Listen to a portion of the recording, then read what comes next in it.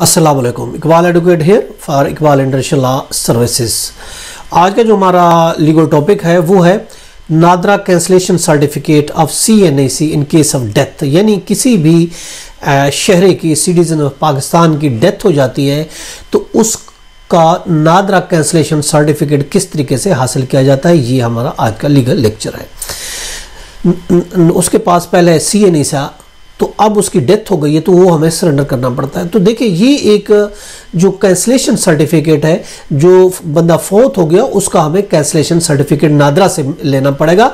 यानी हमें नादरा का जो कार्ड है सी एन ए सी ए वो हमें सरेंडर करना पड़ेगा और उसके बदले में हमें जो है नादरा कैंसलेशन सर्टिफिकेट इशू करेगा, जो कि लाजमी एक डॉक्यूमेंट है, एक रजिस्टर्ड डॉक्यूमेंट है, जो कि हमारे काम आएगा। ये एक रजिस्टर्ड डॉक्यूमेंट है, जो किसी भी किसी भी शहरी की डेथ की सूरत में जारी होता है उसके ब्लड रिलेटिव्स को। अब देखिए, कोई भी ब्लड रिलेटिव है जिसके पास उस डिसीज का नई कॉप है या सी एन ए सी है वो और इसके अलावा उसके पास यूनियन काउंसिल का डेथ सर्टिफिकेट है और इसके अलावा कब्रिस्तान, जहाँ उसकी बरीड हुई है, जहाँ उसको दफन किया गया है, उसका सर्टिफिकेट भी होना चाहिए। तो वो बंदा अप्लाई कर सकता है नादरा कैंसलेशन सर्टिफिकेट के लिए।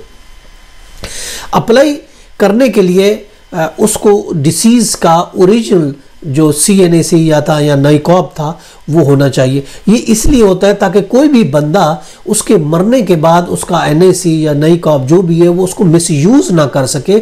और मिस यूज़ से बचने के लिए नादरा ने कैंसलेशन सर्टिफिकेट का इजरा स्टार्ट किया है कि जो जमा कराना पड़ेगा original C N A C surrender कराना पड़ेगा और उसके बदले में आपको वो सर्टिफिकेट इशू करेगा नादरा। उसके लिए आप जो ब्लड रिलेटिव पर्सन है चाहे वो बाप, बेटा, बहन, भाई है, मियाँ, बीवी है, कोई भी ब्लड रिलेटिव है तो वो इसको कैंसिल करा सकता है। उसके लिए उसको नादरा सेंटर आना पड़ेगा। नादरा सेंटर आके उसको कैंसिल करा के सरेंडर करके सर्टिफिकेट लेगा नादरा से। अब उसका तरीक़ेकार क्या है? देखिए, तरीक़ेकार ये सबसे पहले जो आमतौर पर होता है टोकन लिया जाता है। टोकन लेने के बाद उसका फ़ोटो खींचा जाएगा।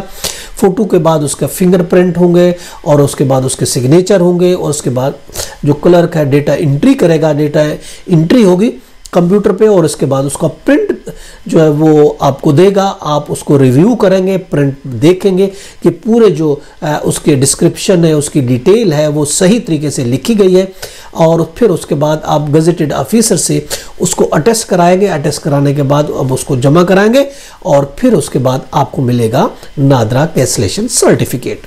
ये था हमारा आज का लेक्चर। इसके साथ इजाज़त दीजिए। Have a nice day. अल्लाह हाफिज़।